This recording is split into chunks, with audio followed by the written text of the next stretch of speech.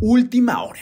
Hace unos momentos, la Agencia Nuclear de Ucrania ha informado de una subida de los niveles de radiación en la zona de exclusión de Chernóbil, la cual horas antes había sido tomada por fuerzas rusas. Según el comunicado de la Agencia Nuclear de Ucrania, los sistemas automatizados de control de radiación indica que la radiación ha aumentado en varios puntos. Tras esto han acusado que debido a la ocupación militar y las hostilidades de Rusia, les es imposible establecer las razones del aumento de la radiación. Es así que no saben qué está pasando y tampoco pueden averiguarlo. Según información oficial, el ejército de Rusia tomó ayer la antigua central nuclear de Chernóbil, donde se dio la mayor catástrofe nuclear de la historia. Esto después de enfrentarse fuertemente contra las Fuerzas Armadas ucranianas. Y es que esa zona de Chernóbil era muy importante, porque era la conexión de Bielorrusia, nación aliada de Rusia, y donde hay fuerzas rusas, a Kiev, la capital de Ucrania. Es por eso que si los rusos querían tomar rápidamente Kiev, la mejor forma era tomar Chernóbil. A pesar que esta podría generar un gran peligro de radioactividad. Por tal razón, el presidente ucraniano Volodymyr Zelensky mandó un mensaje al mundo,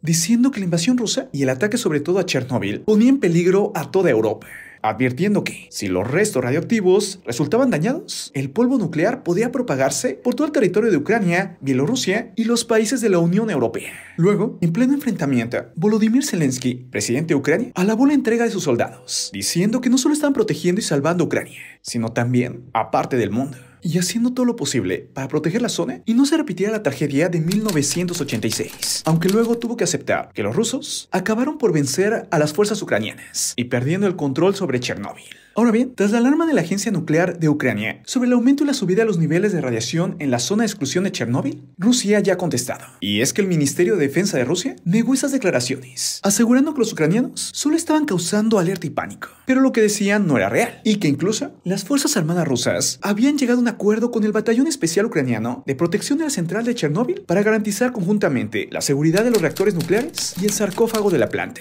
y así garantizar completamente la seguridad de la antigua central nuclear. Tras esto, el Ministerio de Defensa ruso dijo lo siguiente y la radiación de la zona de la central nuclear está en la línea con la norma. El personal de la central está vigilando la situación de la radiactividad. Pero, aunque los rusos están diciendo esto, tras lo anterior llega la pregunta, ¿quién dice la verdad? ¿La Agencia Nuclear de Ucrania o el gobierno ruso? Apenas salga más información, te la estaremos compartiendo. Ahora sí, suscríbete a este canal inmediatamente. Sí, suscríbete ya, tanto en YouTube como en Facebook. Ya sabes, de mente, noticias del momento. Tu Cosmópolis, datos curiosos, inteligentes y que te harán pensar.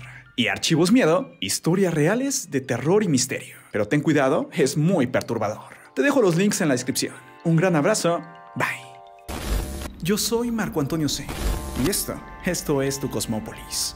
Nos vemos pronto, un abrazo fuerte, bye.